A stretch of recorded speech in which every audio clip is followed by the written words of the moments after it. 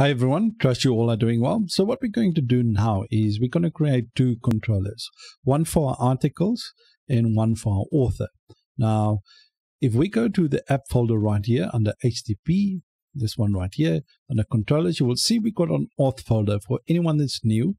In order to create this folder with all the uh, basically the classes in there that's basically handle the authentication, we use Laravel Breeze to do that. All right, so what we want to do now is we want to create a new folder in here called API.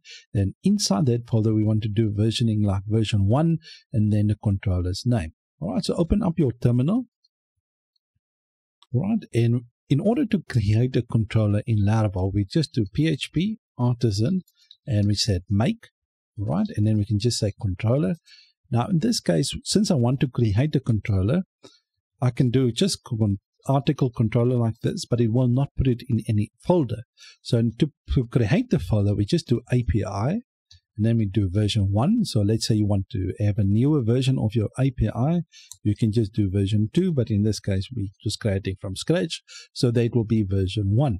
Then after that, we can just add the article controller like this. Okay. Now, if we create it like this, it will create no methods in them. So we have to create all the methods we want ourselves in that controller. All right, but if we don't want to do that, we can actually do route model binding uh, with a dash M, and then we can add article like this. So what this will do, it will create seven methods inside there for us. Let me quickly create them for you. Right, so as it currently stands, what it will do, it will create an index method, a create, a store, a show, edit, and an update, and a delete. But since this is an API, we don't need to return the view of for the create and the edit. So those ones we don't need to include. So basically, we only want these methods to be there for correct application.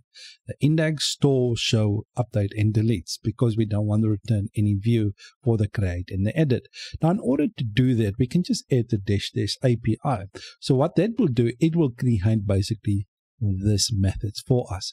All right, so let's quickly do that. So if I press enter, you can see it created the API folder.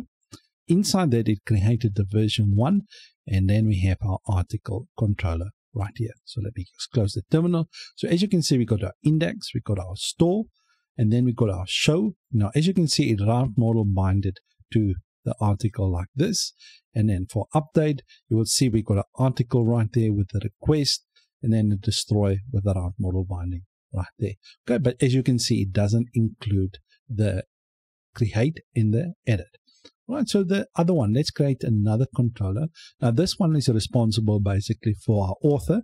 So what I'm going to do, since I'm not going to create any methods in there, so we're just going to do author controller, just like this, or you can make it invocable, uh, basically controller, but I'm not going to do that. I'm just going to return a show view inside the author controller. So if I press enter, so as you can see, it created the author controller right there. Okay, so let me just quickly open up the author controller. I may not save that. The author controller, I'm just going to create the method. So just create a method called show. And then we route model bind the user, the user like this. All right, so what we're going to do in the next episode is we're going to create basically two resources. One for the article resource, because what we want to do is we want to uh, basically send links for the article. So we, the person can actually go to the different links inside the article and some metadata as well. So the, the resource can basically where we can customize what of data we're going to send to the client. And we're going to do that in the next episode for the article.